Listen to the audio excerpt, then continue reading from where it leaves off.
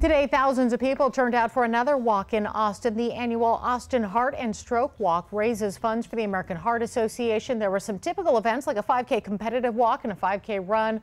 There was also an event called the Miracle Mile. It's a route designed just for stroke survivors and others just beginning their fitness journey.